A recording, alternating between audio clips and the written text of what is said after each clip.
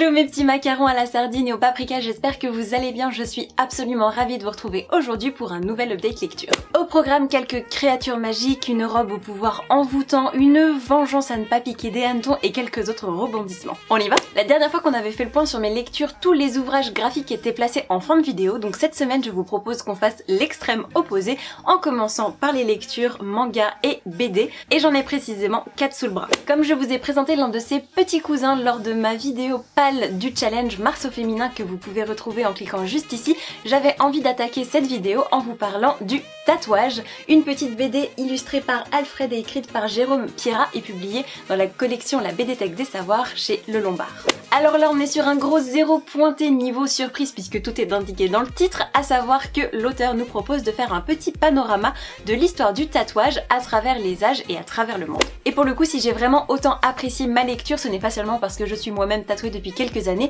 mais bien parce que j'ai adoré la manière dont l'auteur présente la différence de perception à travers les âges et à travers les différentes civilisations. C'était vraiment passionnant, c'était drôle, c'était instructif sans être trop pesant et je pense que c'est une excellente porte d'entrée si vous vous intéressez à cette thématique puisque tout n'y est pas abordé de manière très complexe, très profonde. Je pense que c'est vraiment une façon de dresser un premier panorama avec une bibliographie finale qui donne vraiment envie de creuser le sujet et si jamais ça vous intéresse, eh ben je vous conseille franchement cette petite BD qui vaut carrément le détour. La deuxième bande dessinée qui m'a accompagnée en ce tout début du mois de mars, il s'agit bien évidemment du tome 3 de Aubépine Pourquoi tant de laine, c'est toujours écrit par Tom Picot et Carensac et publié chez Dupuis. Pas de panique pour celles et ceux qui ne l'ont pas lu, comme d'habitude je ne vais pas faire de spoiler et simplement vous rappeler le pitch du premier tome. Même si je pense que vous pourriez faire le synopsis à ma place tellement je vous ai bassiné avec cette série depuis des lustres, eh bien je vous rappelle juste qu'on va suivre Aubépine suite au déménagement de sa famille à la montagne pour suivre sa maman qui est ornithologue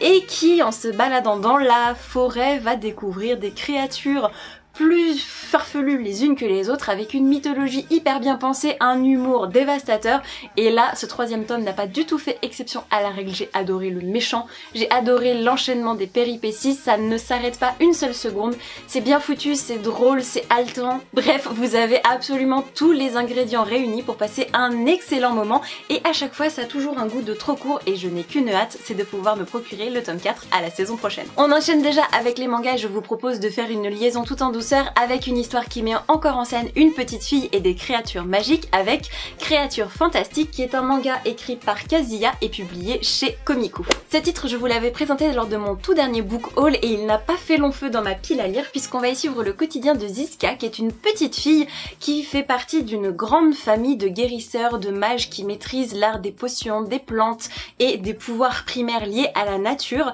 et elle va faire son apprentissage chez Nicolas qui est un vétérinaire et euh, ce que j'ai beaucoup apprécié, c'est que dans cette histoire, en fait, euh, Ziska représente un petit peu l'art de la magie, de la guérison par les plantes, etc., qui est doucement en train de s'éteindre au profit d'une société beaucoup plus moderne, basée sur les sciences, la médecine moderne, avec les médicaments, etc. Et ce que j'ai beaucoup aimé, c'est de voir justement cette dichotomie et ce, cet âge un petit peu charnière entre les deux époques. C'est vraiment passionnant, c'était très bien rythmé, et surtout c'était très complet et très profond quant aux notions de botanique, de soins apportés aux animaux, la manière dont un vétérinaire va pouvoir organiser ses journées. C'était vraiment très très bien euh, documenté, je me suis régalée. Mais après c'est vraiment plutôt contemplatif, tranche de vie que vraiment une intrigue suivie et haletante puisque ce sont des épisodes comme ça qui sont liés dans le temps mais en tout cas qui n'ont pas une intrigue de fond vraiment poussée. Donc euh, ça ne plaira peut-être pas nécessairement à tout le monde puisque je pense que certains trouveront ça un petit peu longuet, fastidieux et peut-être euh, inutile. En tout cas moi je me suis régalée, c'était vraiment une très chouette ambiance qui me fait plus penser à l'atelier des sorciers mélangé avec minuscule pour le côté magie, tranche de vie, cocooning que euh, The Unchained Magus Bride ou d'autres mangas comme ça un petit peu dans l'univers des créatures fantastiques. Et sincèrement si le pitch vous tente je vous conseille vraiment de vous pencher sur la question. C'était euh, un très chouette premier volume. Et si vous êtes dans les starting blocks pour les romans courage il ne reste plus qu'un manga au programme. Et le dernier manga est passé à la casserole à la maison. Il s'agit d'une suite de séries à savoir le tome 2 de Celle que je suis. C'est toujours écrit par Bingo Moriyashi dessiné par Suwaru Koko et toujours publié aux éditions Akata. Ah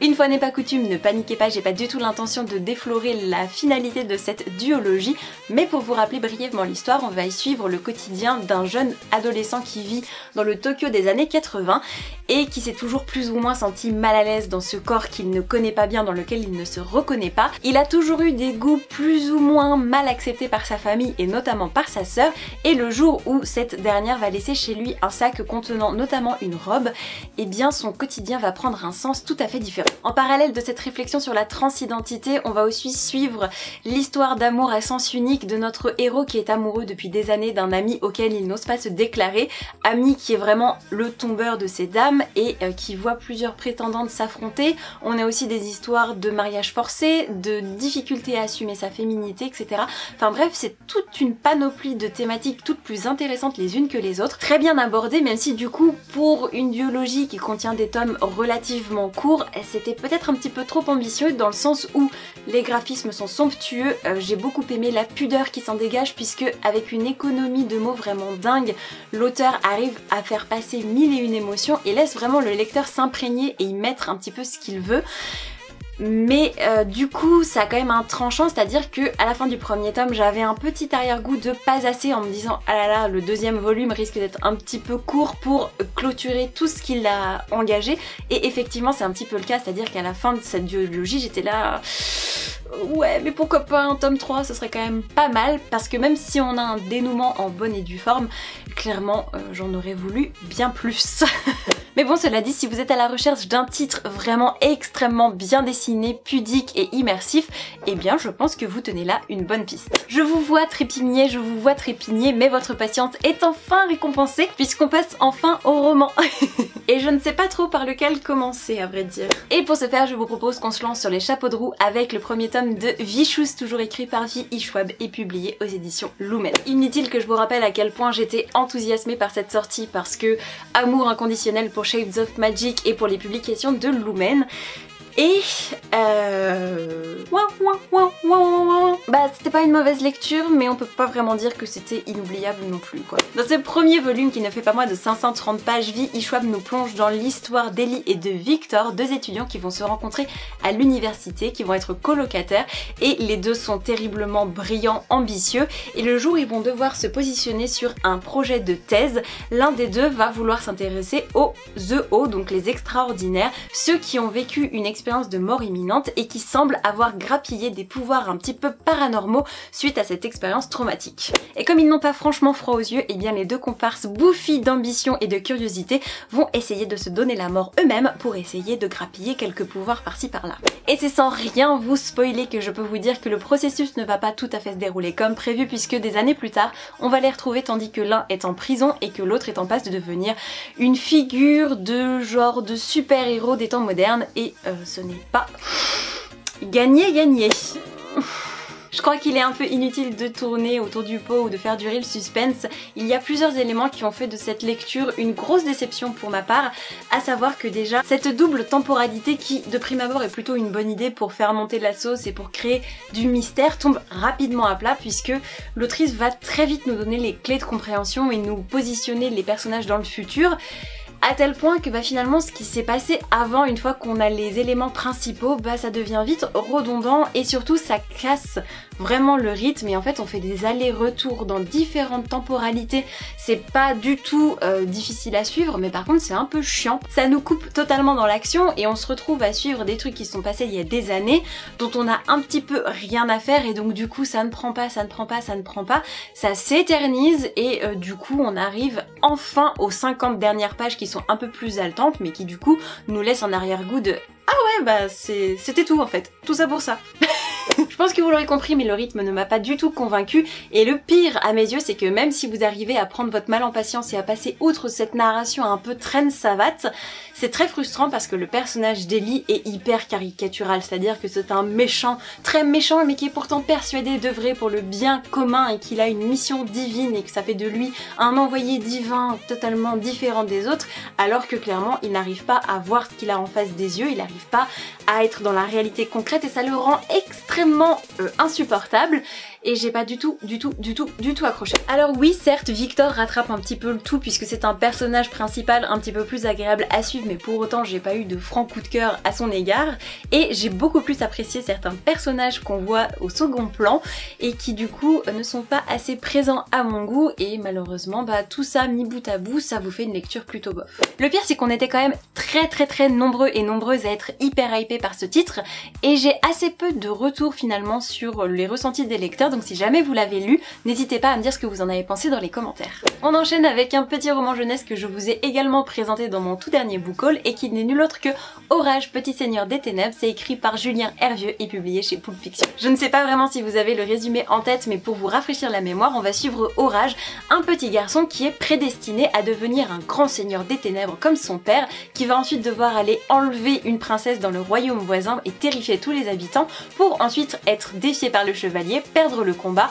et mener enfin sa vie de château tranquillement dans un royaume très sombre, ténébreux et lointain. De prime abord, ce petit garçon n'a trop rien contre ce programme établi à l'avance, mais ce qui l'emmerde par contre profondément, c'est qu'il doit suivre et subir des cours d'un chiant intergalactique avec un précepteur qui euh, l'ennuie au plus haut point. Mais quand l'un de ses serviteurs zombies va avoir la mauvaise idée de lui conseiller d'expédier toutes les tâches un peu pénibles pour ensuite pouvoir se concentrer sur ce qu'il aime faire, eh bien le garçon va y voir un signe de précipiter ce destin pour aller enlever la princesse tout de suite, se faire botter le train immédiatement et pouvoir passer plus vite à autre chose. Vous l'aurez vu à ma tête, ce synopsis m'a carrément enthousiasmé, mais qu'est-ce que j'ai pensé concrètement de ma lecture? Eh bien grâce à Julien Hervieux, j'ai quand même passé un très très bon moment de lecture, très rapide, mais je pense que Orage Petit Seigneur des Ténèbres ne fait pas partie, en tout cas à mes yeux, de ces ouvrages de littérature jeunesse euh, transgénérationnelle qui peuvent convenir aux petits lecteurs comme aux plus grands, puisque je pense sincèrement que l'humour qui est développé par l'auteur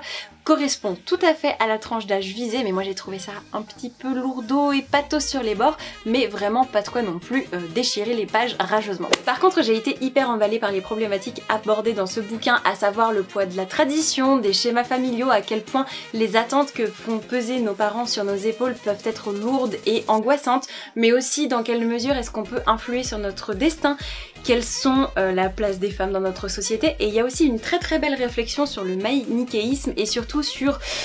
la différence de point de vue et la manipulation des foules qui est quand même vachement mature pour un bouquin destiné aux plus jeunes. Toutes mes excuses pour ces modulations de lumière qui ne sont pas du tout de mon fait, mais comme on est au mois de mars et qu'il y a des giboulées absolument dégueulasses, eh bien on passe du jour à la nuit en quelques secondes, c'est génial Bon, et même si j'ai l'impression d'avoir doucement glissé dans une caverne sans fond et sans lumière, je vous propose qu'on termine cette update lecture sur une bonne note avec Partie sans laisser d'adresse. C'est un roman écrit par Suzy Nielsen et publié aux éditions Helium. Dans son tout nouveau roman, Suzy Nielsen se propose de nous offrir l'histoire de Félix et Astrid, une mère et son fils qui vivent tous les deux dans un combi Volkswagen suite à quelques déconvenus et à la personnalité plutôt bien trempée d'Astrid. Le pépin, c'est que cette situation qui à la base ne devait être que provisoire s'éternise et ces petites vacances improvisées vont avoir très vite un goût amer et Félix ne trouve pas mieux pour essayer d'aider sa maman que de s'inscrire à son émission télé préférée pour essayer de décrocher le jackpot. Je crois l'avoir déjà dit plus ou moins à demi-mot dans mon book haul, mais j'aime beaucoup les bouquins de Suzy Nelson et celui-ci n'a pas du tout fait exception à la règle et au contraire il m'a même plutôt surprise dans le très bon sens et il s'est révélé encore meilleur que ce à quoi je m'attendais. Pour celles et ceux qui ne connaissent pas cette autrice, je vous recommande vraiment chaudement ses bouquins puisqu'elle a le talent de mêler émotions profondes, situations truculentes, humour et humanité dans une plume extrêmement bien traduite, très fluide, très enlevée et que je vous recommande franchement chaudement. Dans Partie sans laisser d'adresse, une fois de plus, elle réussit le tour de force de nous proposer des personnages extrêmement bien incarnés, vivants, émouvants à suivre, Astrid qui est une mère, euh, qui est une hippie au caractère bien trempé mais qui traîne de lourds bagages derrière elle, est à la fois hyper exaspérante mais fondamentalement attachante. Félix qui est le personnage principal et le narrateur est un garçon adorable que j'ai pris plaisir à suivre de bout en bout et leur situation, la manière dont les personnages s'approprient cette situation, le secret qui pèse sur les épaules de ce petit garçon, voilà, les tranches de vie du quotidien et